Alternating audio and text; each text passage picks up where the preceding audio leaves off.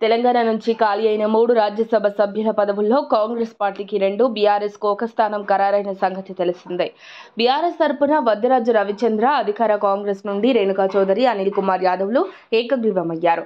దీంతో రాజ్యసభ సభ్యురాలుగా ఎన్నికైన కాంగ్రెస్ అభ్యర్థి రేణుకా చౌదరి బుధవారం అసెంబ్లీ కార్యాలయంలో రిటర్నింగ్ అధికారి ఉపేందర్ రెడ్డి నుంచి ధృవీకరణ పత్రాన్ని అందుకున్నారు. ఈ క్రమంలోనే ఆమె బుధవారం గాంధీ భవన్లో మాట్లాడుతూ రాజ్యసభకు తనను ఎంపిక చేసినందుకు సోనియా గాంధీ మల్లికార్జున ఖర్గే రాహుల్ ప్రియాంక గాంధీ సీఎం రేవంత్ రెడ్డిలకు ధన్యవాదాలు తెలిపారు.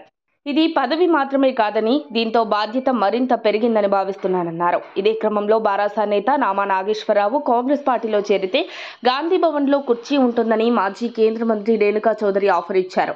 గాంధీ భవన్లో చాలా కుర్చీలున్నాయన్న రేణుక సీటు విషయంలో మాత్రం కుదరదని చెప్పారు.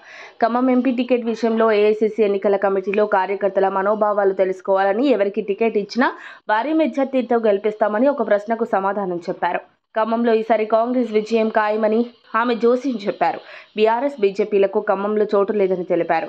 మరి నామా నాగేశ్వరరావుపై రేణుకా చౌదరి కీలక వ్యాఖ్యలు బీఆర్ఎస్ వర్గాల్లో టెన్షన్ పెడుతున్నాయి.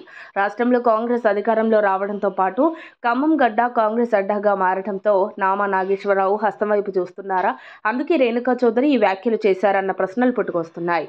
మరి దీనిపై నామా నాగేశ్వరరావు ఇప్పటికీ స్పందించలేదు. లోక్సభ ఎన్నికల ముందు కేసీఆర్కు గుడ్ బై చెప్పి నామా నాగేశ్వరరావు కాంగ్రెస్ తీర్థం పుచ్చుకుంటారా కేసీఆర్తోనే కలిసి ప్రయాణిస్తారా అనేది త్వరలోనే తేలిపోనున్నట్లు ప్రచారం జరుగుతోంది. మరిన్ని అప్డేట్స్ కోసం మా కాయ్ టీవీని సబ్స్క్రైబ్ చేసుకోండి. మా వీడియో కనుక మీకు నచ్చినట్లయితే లైక్ చేయండి షేర్ చేయండి. మీ విలువైన అభిప్రాయాలను కామెంట్ బాక్స్లో తెలియజేయండి.